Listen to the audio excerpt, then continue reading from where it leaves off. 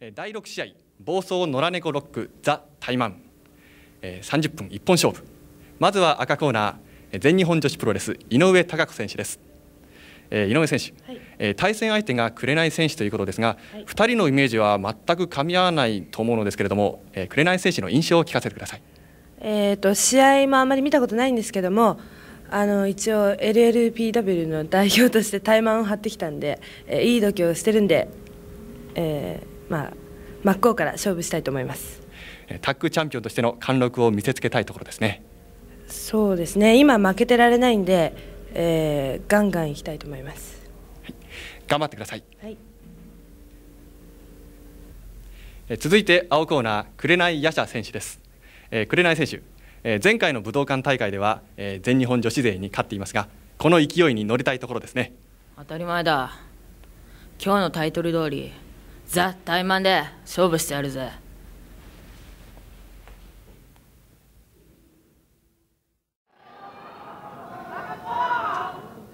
本日の第6試合暴走野良猫ロックザ・タイマン30分一本勝負を行います。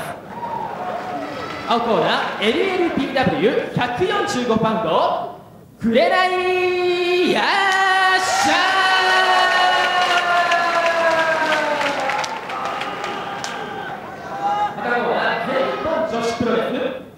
155パウンド井上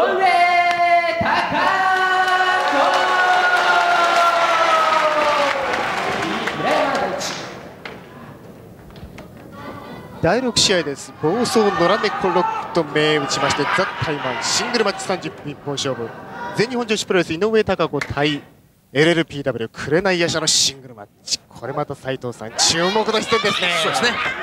えー、スペシャルゲストに北斗晶さんをこの試合からお迎えします。北斗さんよろしくお願いいたします。お願いします。さあ早速紅姉子の焼き入れが始まりましたね。当でめった好きです。もう他団体のリングだろうが物おじもへったくれもありませんねこの選手に関しては。うん。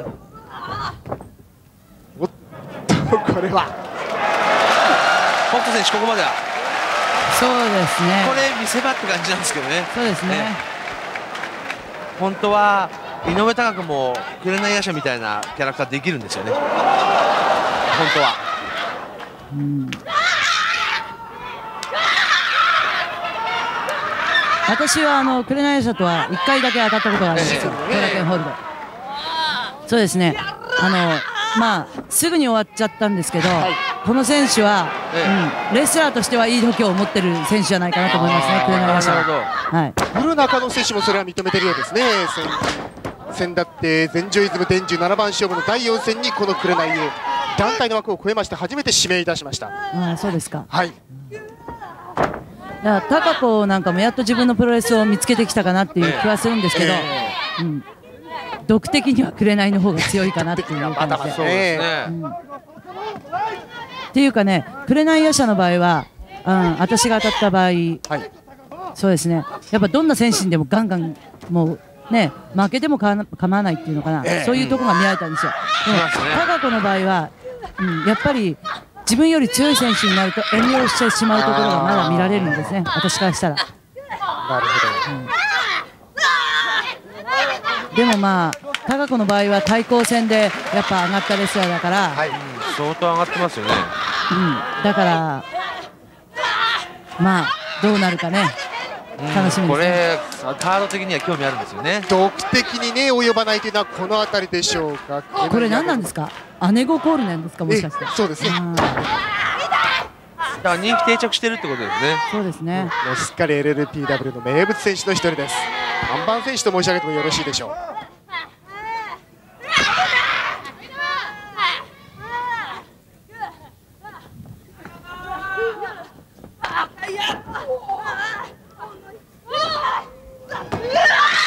決してね、高子選手も物おじはこの辺りは紅クラスにはしていませんからね、このように。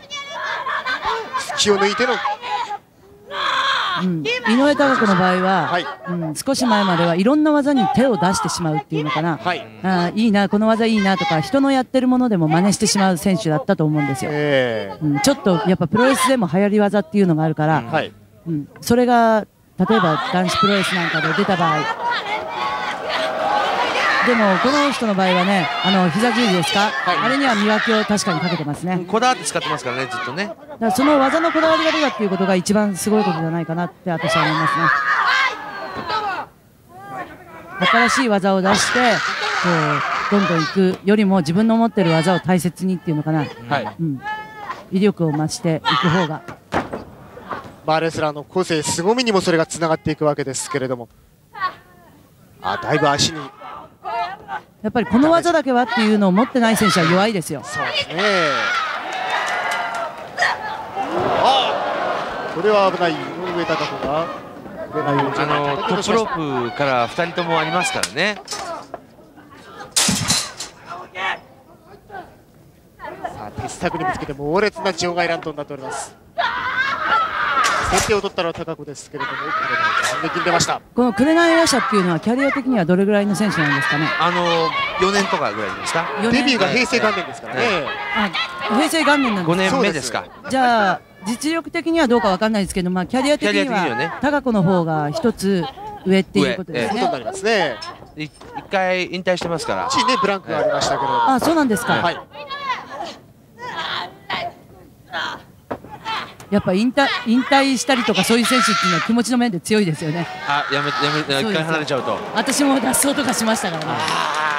練習が辛くてですか？それは。いや違いますけど、はい。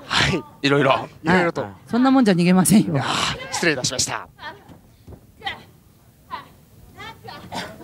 まあ高子もこのままじゃ黙ってないでしょう。今の高子なら。えーもうね気の荒さに磨きがかかってきましたからこの選手も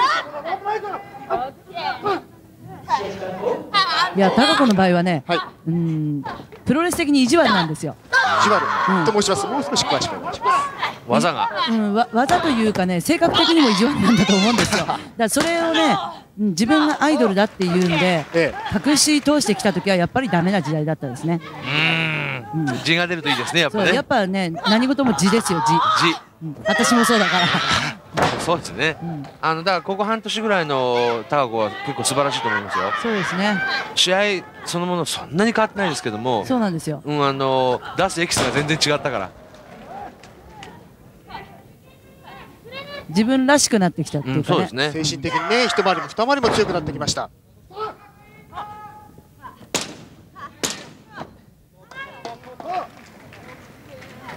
この辺り高子は打たれ強くもなってきましたよねそうですね。昔だったらやっぱりひしひしとなんていうのかなやり返す時を待つレスラーだったのが確かだと思うんですよ。でも今は自分からねやり返すことをやっぱり覚えたと思うし、さあ高子はチョークを使ってるんですかこれは。目には目をというところで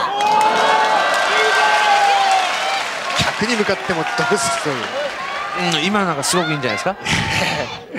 かき上げたアピールがね。高子らしいですね。今の高子らしい。という私はこのカードを見たときに、はい。えうーんそうですね、まあ、ホッターカンドリの場合も面白いかなとは思ったんですけど、ええ。まあ、1試合目から、えっと、10試合目まである中で、はい。あちょっと楽しみじゃないかなと思ったのが一番思ったのがこの試合なんですよ。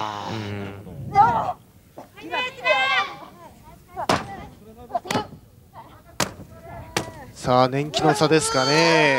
この辺りは井上が徐々に自分のペースに引き込んできたという感じがします。まだ1回しか当たったことないですけど、はい。もう紅っていう選手は最初にバンバンやってしまおうっていう選手なんですよね。速攻型で。いきなりね。いきなり型っていうのかな。いきなりやっちゃおうっていう感じなんですよ。でもやっぱり、うん、やっていくうちに、うん。時間が経つとねやっぱりレスリングの試合になっちゃうから。うん、それもあるしもう自分のその技っていうものをなくなってしまいますね。そこで型をつけられればいいけどその後に何を出すかっていうのもやっぱ問題だと思うんですよ。レパートリー通過ねやっぱり尽きちゃうんでしょうね。まあそれもあるしスタミナもあるんでしょうね。だからその根性的にはいいと思うんですよ。はい。まあ、相手とねこのリングの上で見合わせた瞬間に、はい。もうやっつけちゃおうってその気持ちっていうのかな。それは紅は良かったんじゃないかなと思うんですけど、ええ。その先がなければ勝ちを取ることまあ、はできな10分いでしょう、15分とねいくと。そういう面では難しいんじゃないかなとは思いますね。時間かかるとやっぱり井上貴子なんかかえって余裕持ってきちゃうと思うんですね。そうですね。誰強い選手ですからね、この人も。さあ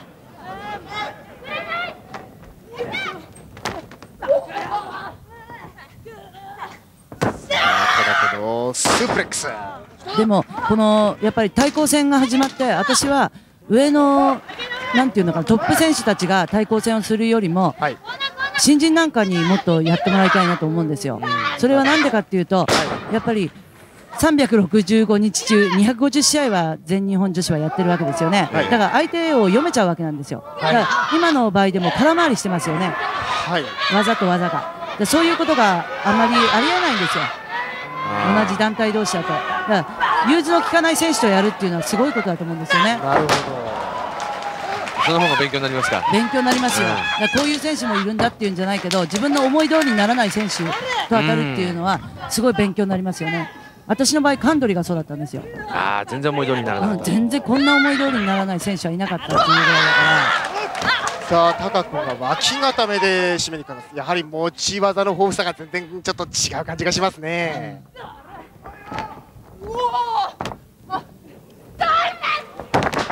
でもこの人喉は一つでも試合できちゃうと思いますけどね。らそうですねねあのき最後はね。そしてフォールに行きますけれども、やはりこれだけではね。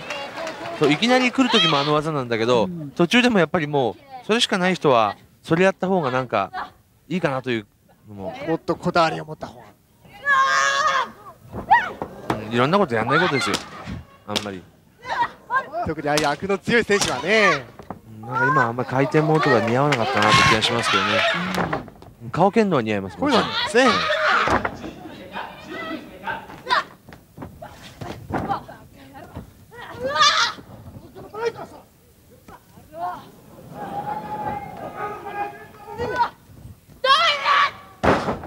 今のバックドロップはどうですか？似合いますか？あ私あれはジャーマンを持っていこうとしたんじゃないかなと思いますね。うんちょっと流れたつうか。ね。スタミナが切れてきたっていう感じがしますね。なるほど。やはりね。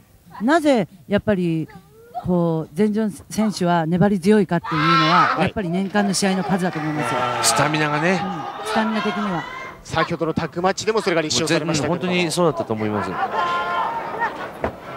おーこれは危険なコーナーから蹴落とされそうになった紅ヤシャですけれどもなだれ式ブレンバスターを強引に決めるんでしょうか？返しますかね。どうでしょうか？意地でブリッジして返しました。うん。クロスアーム式ジャーマンだ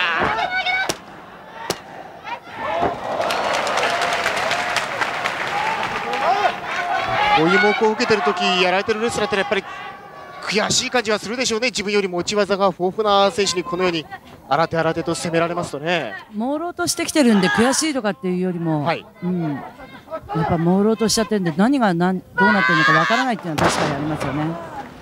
今度はチョークスラムをなだれ式で変えられました。ああいいな今の。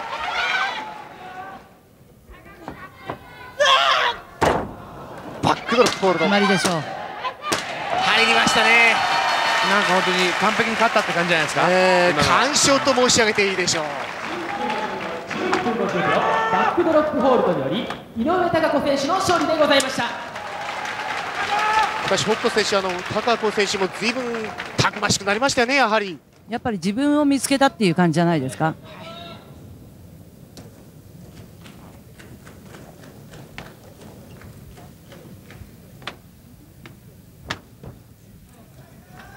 あそこで一発張ってほしかったな。